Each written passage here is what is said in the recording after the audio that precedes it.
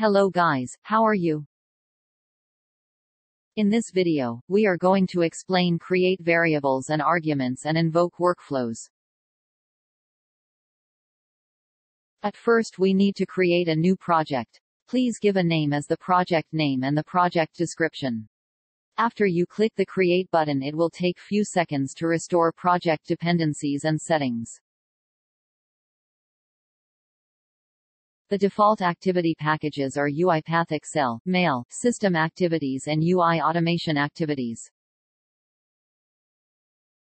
This will automatically create project folder setup within default dependencies. Now we have created a new blank project. We can see project folder structure through the studio. Go and click Project on the left side corner. Then open main.xaml. Here you can see the Activity Panel Studio left side corner. There are more activities in this panel. You can install more activity packages using Manage Package in the top ribbon. Let's start with message box activity. To get activity you can search in left activity panel or click the plus mark in the middle of screen then search bar will appear to the search.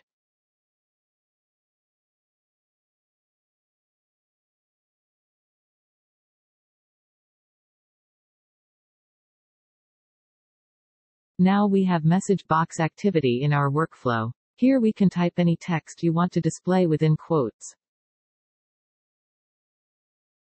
Let's run the workflow by clicking Run File button.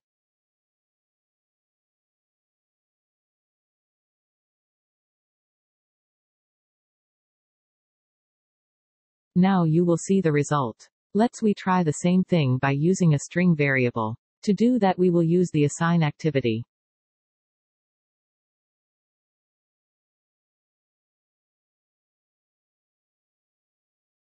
Then you have to create new string variable here. You can create variable in variable panel or by pressing Ctrl plus K in this activity here. By default will create a string variable but if you want change it to integer, float, boolean etc., then you can do this from variable panel.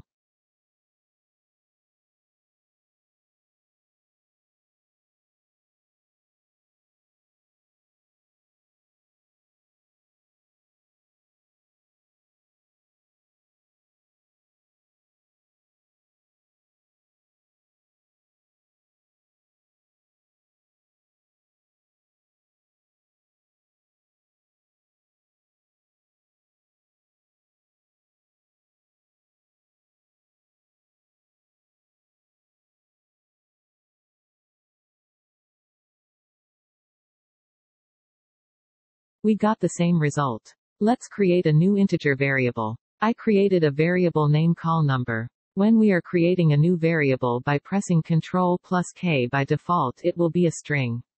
Now we are going to change this variable type to integer. For that go to the variable panel and change the variable type.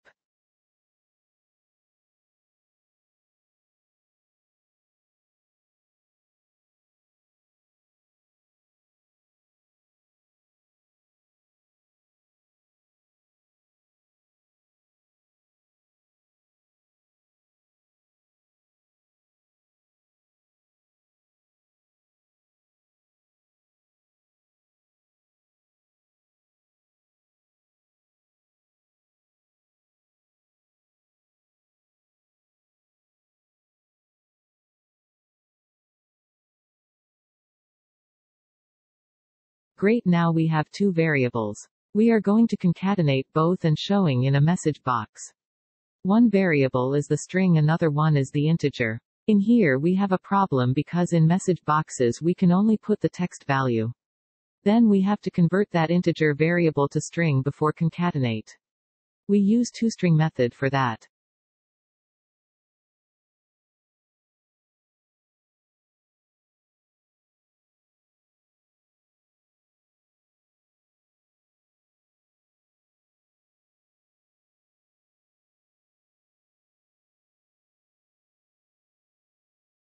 Yes, we got the correct result. Now let's see how to create argument, import argument and invoke new workflow to the main workflow.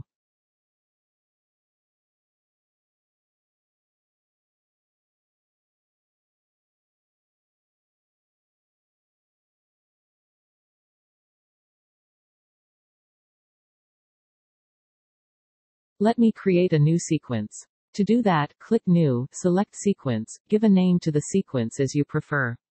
I will give arguments underscore demo as the name of it. Okay, now we have new sequence. You can create a sequence or flowchart. It doesn't matter.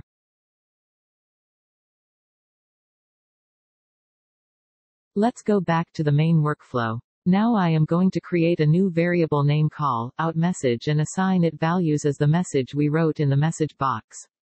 After that we remove the message box from main workflow.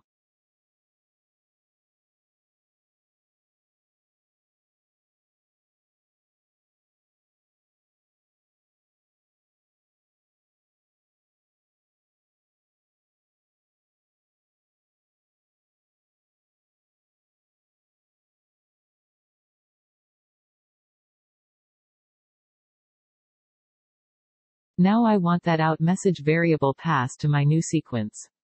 For that we have to create new argument in argument panel of the our sequence. To invoke workflow to the main workflow we use the invoke workflow activity. Please follow the step and try yourself.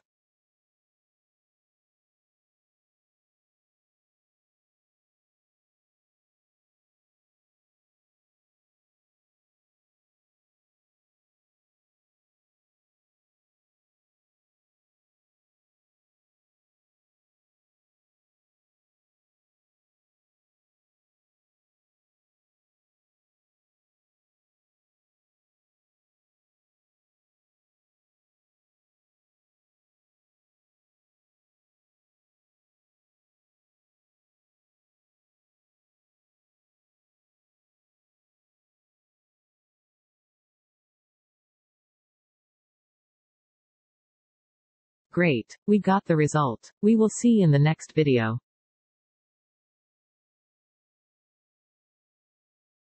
Thanks for watching. Please like the video and leave a comment with your ideas. Don't forget to subscribe the channel.